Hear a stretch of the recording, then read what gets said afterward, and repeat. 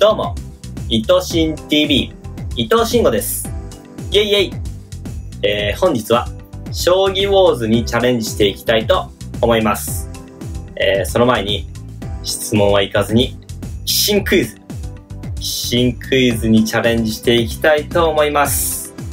結構寄進クイズ溜まってるんですよね。未回答32、えー、第9問からいきましょう。で、本日1回だけやりましょうね。うわー、これなんだ、4二銀打ち2二歩。なるほど、いい問題ですな。いい問題選びますな、キシンさん。キシンが選んでんのかわかんないけど。俺だけど分かりましたよ。うん。4二銀か2二歩かね。4二銀か2二歩。なるほど。とにかく角が邪魔なんですよね。角がいなければ、2四飛車走れますからね。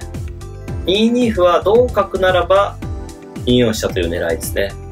ただ4五歩とか反撃された時どうかなっていうところで、4二銀はもうとにかく角を取ってしまおうっていうね。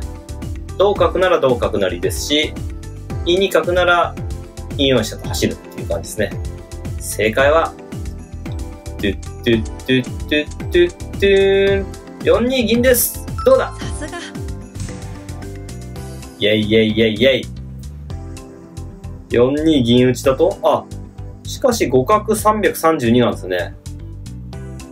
互角ではあるけど300以上のプラスということですね。これだと5六竜なのか。あー、なるほどね。で、取って取って、なんで5六竜って引いたかっていうと、4五桂跳ねたいんですよね。うん。これで後で5七桂のやつ待ってくる順があると。馬を引いて、渋いっすね。4六馬を狙ってるんだな。叩いてか、叩きもいい手だな。同飛車で2六歩か。うん、まあ次は、さすが2八飛車引いて、5七桂成、4六馬、同竜、同歩みたいな感じでしょうかね。あ、そっか。相手の方、歩切れですからね。うん、4六馬引いちゃって、竜と馬が差し違えられれば優勢かなって感じです。そして、糸心が間違えた2二歩だと、互角マイナス79。えー、2二歩も4二銀も互角ではあるみたいなんですけど、やっぱ数値が違ってくるんですね。えーこちらだと332のプラスで、こちらだとマイナス79。まあ、ほぼ、えー100を切ってる場合はね、プラスでもマイナスでも、まあ大体互角って感じですね。2二歩の場合は4五歩か、やっぱり。うん。で、歩がなって、竜引くんだ。渋いっすね。えー、で、金が上がってきて、5六歩か。あ、交換してからか。交換してから5六歩。で、なんで角を交換してきたかっていうと、なんでだろう。単に5六歩もありそうでしたね。まあ、ただ5六歩すごい厳しいんですよね。あの、持ち駒見ていただくとわかるんですけど、角銀形ですからね。歩がないから、5八歩と受けることができないと。で、どうやって受けるんだろう。5八銀で受けるのか。5八銀打ち。ここで7六銀と出て互角と言ってるわけですね。確かに4二銀できっぱり角を取ってしまった方が、後で2八の飛車がね、2四飛車と走る手があるんで、いいという感じですかね。結構難問でしたね、今回ね。はい。ということで、小用図の方に行きたいと思います。はい。マイページポチと。149勝46敗。195局ですね。レーダーチャートはこんな感じになっております。そして、設定は、今回じゃあ谷口ゆきさんのボイスでいきましょうか。対戦しないお任せ設定でいきます。じゃあ本日も10秒将棋通常対局開始でよろしくお願いします。来ました。後手番よろしくお願いします。2 3 4さ5あ、7六歩とついていく。居飛車党の方かな？居飛車党ですね。2 3 4 5 6二銀か。1迷う。角を交換していく。角換わり2手目からもう、9まで読まれてしまいましたね。2 3銀は上がっていくか。1えー、これだと、3 5六つく手あるかな ?5 六ついてみましょうか。これで5七銀から8八飛車という手を狙っていきますと。はい。どうするかな ?8 四歩でしたね。結構相手の方も長考派です。長考派ですね。結構序盤ですけど、一ギリギリまで考えるタイプの方ですね。8八飛車でダイレクト向かい飛車ということですね。一まあ、1筋はここは受けておきましょうか。えー、一応作戦としては、普通は7七銀って上がってからね、8八飛車って回るのがダイレクト向かい飛車なんですけど、二この場合は6八銀から5七銀を先にしているので、まあ、銀のポジションがね、7七ではなくて5七になってるっていうのが主張ですね。三いやー、相手の方は7三桂跳ねてくるつもりかな。やっぱりそうか。さあ、どうしたらいいんだろうか。せっかく5七銀型だから6六銀上がるのちょっと尺なんですよね。うわ、難しいな、これ。六非常に難しい。3六つくか。2六つくとね、4四角打ってきそうなんですよね。ちょっと嫌なんだよな、それが。まあ8六つく手もあるけど、せっかくだから4六銀上がっていきもいきましょう。えー、次2六つこうかな。3三銀か。なんか4四銀から3三桂みたいにやってくるんですよね、多分。4四角これでも打ってくるか。打ってこなかった。4四歩でしたね。三四五まあ、お言葉に甘えて銀冠を目指していきますか。5四銀の時どうするかな。あとは6五桂とかはね、さすがに無理だと思うんですよね。銀冠美しい。とにかく美しい銀冠。一いやー、これなんだなんだなんだこれ。5五にやりたいな五六やりたいな。やりたいな。八5五銀やっちゃおう。3七桂一回跳ねるべきだったかな。6三銀引くかな。やっぱり引いたか。二三四3七桂跳ねると5七角か。いやー、ちょっと微妙だな。千にして狙いみたいになっちゃうな。えー、千にして。マジか。三四五うわ、わかんないよ、これ。も一う八一回出るか。6三銀に3七桂かな。迷いますね。これは迷う。桂跳ねよう。5七角が一番ね、強い手ですね。2五桂跳ねて4四銀もあるけど。うーん、6六角かな。三四五6六角にしようかな。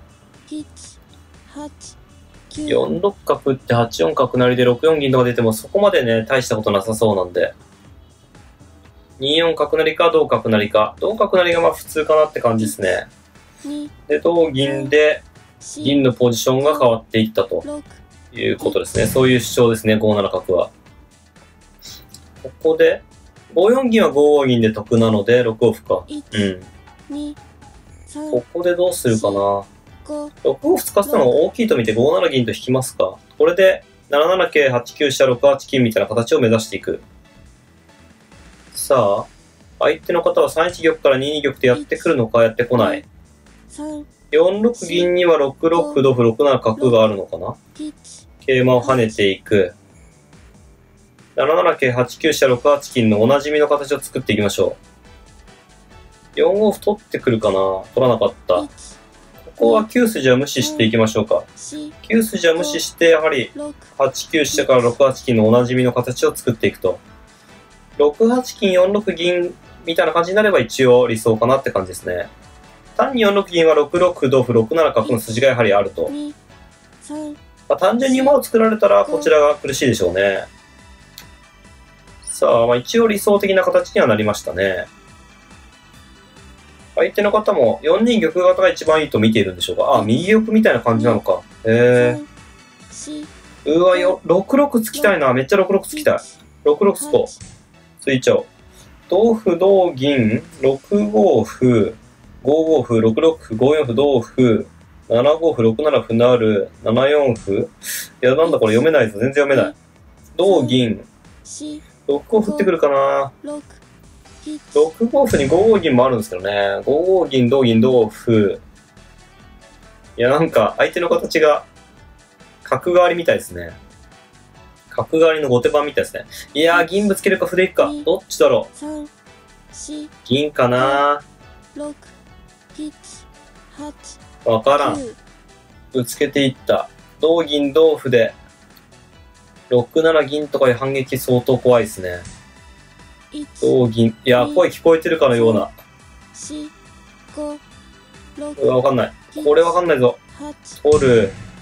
6、7銀。あ、歩か。一、歩なんだ？二、えー、なんだこれ？わかんない。7五歩が丁寧かな五、六、七、八、わからん。九、うわわかんなかった。7五分つきたかったな。つきたかった。6、7歩なら6、3銀と打っていく。うん、6、3銀、同金、7二角ですね。この時、六、うん、まあ、銀冠が完成してるんで、かなり攻めに専念できるということなんですが、一応予備筋だったけど、これ、どうなんだろう？角打って取って取って取ってか。四、最後9一馬取りましょうかね。9一馬取って7三馬見せていくか。うーん。ちょっと優勢ではないかと見たいけど、6四金ですよね、普通は。あ、そっち？一、そっ二、ちか。三、え、ちょっと意表をつかれましたね。あれ？どっちだ？六、普通は？6三角なる。4二玉かな ?4 二玉4一金打つかどうか微妙だな。4一金4三玉7三馬8一飛車が当たりになるのか。うわー、4一金筋悪いもんな。筋悪いですからね。まあ、7三まで行きましょう。丁寧に行こう。一、そこで、二、9、8三金とか追い打ちかける手もあるけど、六、七、八、九、わからんかった。ここ難しかったな。68とか77とか、どちらかな。77とは同金ですかね。68とかな。金上がるんだ。二、金上がるんだ。わからん。わからない世界。七、八、一歩取っとくか。一歩 ゲットしておくか。飛車逃げるかな、これ。一応、飛車を取って8二飛車みたいな詰み筋がありましたと。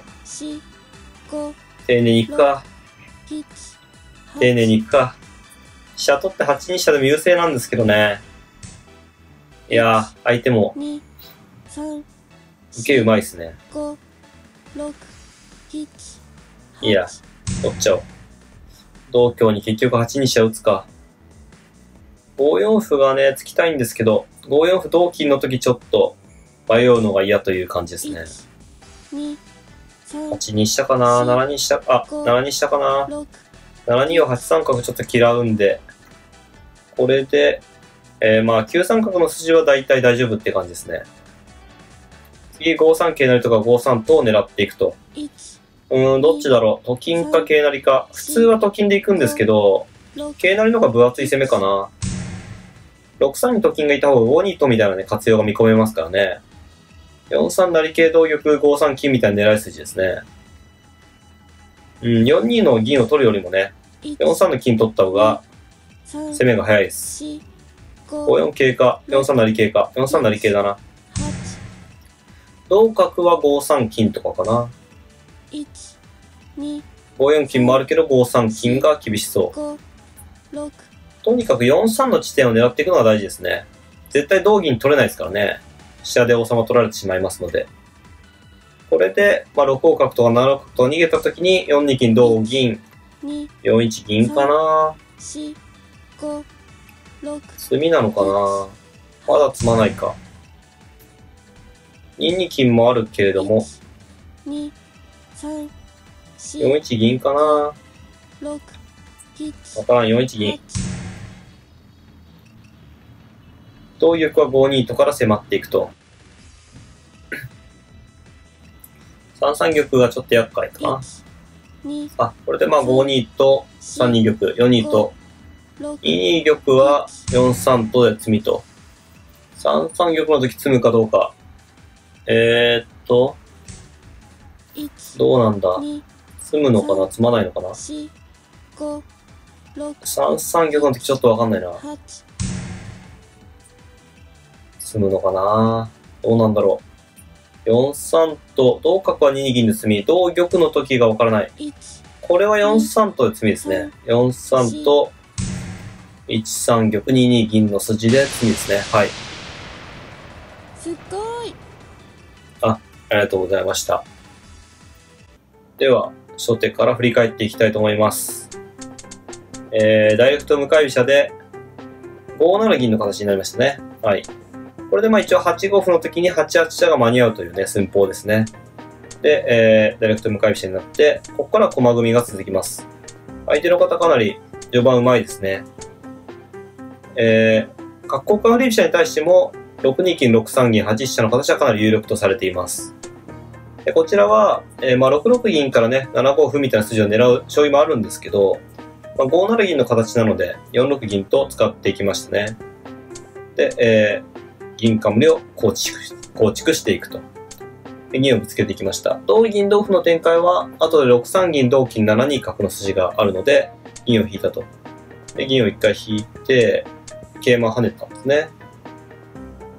まあ、一応、2五桂、2四銀、4四銀みたいな筋はあるんですけど、ちょっと無理かな。まあ、5七角と打ってきて、6六角、はい。で、まあ、6五を突かせることがね、結構、真の目的だったんですね。で、銀を引いて、銀を上がってと。うん、まあ、この、8九飛車、6八金、7七桂のね、おなじみの形を作るのが、角交換振り飛車で大事ですね。これで後で4六銀とか4八銀とか、そういった手を狙っていきます。あと、まあ、本譜は6六歩でしたね。はい、6六歩とつきましたね。まあ、相手の方は5二玉とね、えー戦場に近づいてきたところなので、まあ、6六歩つきやすい意味がありましたね。で、交換して銀が出てと、さらに銀交換になって、4七銀っていう手が怖かったんだよな。4七、あ、ごめんなさい、6七銀ですね。6七銀っていう手が怖くて、うん、どうなんだろう。同金は7八角、7九飛車、6七角成みたいな感じですね。6七銀に、6九飛車は、6八銀ならず同飛車5九角とかかな。6七銀に、6九金っていう感じなんでしょうかね。それで7六銀成。6七銀に6四歩打っちゃう手もあるかな。それで6八銀ならず6三銀同金7二角の本譜の筋ですね。それで6四金で8一角成か。うん、まあ、それの方がいいかな。本譜これで、まあ、7五歩、同歩7四歩の筋ね。それもかなり有力でした。7五歩、6七歩成なら、7四歩、6八と7三歩成同金6五桂みたいな感じですね。7五歩に8四飛車だと、ちょっとわかんなかったんだよな。7五歩、8四飛車、7四歩同飛車、8三角、うーん、8四飛車、5六角成みたいな感じかな。それも有力でしたね。本譜はま直接攻めていくような感じです。まあ、7二銀とかいう受け方もあったかな、今見ると。7二銀受けたら、うん、まあ、5九飛車かな。5九飛車、8六歩、5四歩、同歩、攻めが繋がるかどうかですね。5四歩、同歩、同飛車、5三歩、6三銀。ちょっと無理か。同金、同歩成、同銀か。なんか7二銀の方が良かった気がしますね。はい。本譜攻め合いの展開になったんで、やっぱり玉形のね、位置というか、5二玉と2八玉なんで、やっぱり戦場に近いとね、不利なんですよね。うん、こういう手が直接王手になったりしますからね。で、桂馬を取って、はい。まあ、6八の金取れるんですけど、なかなか取ら取らせてもらえないという感じになりましたね。で、飛車打って取ったのか。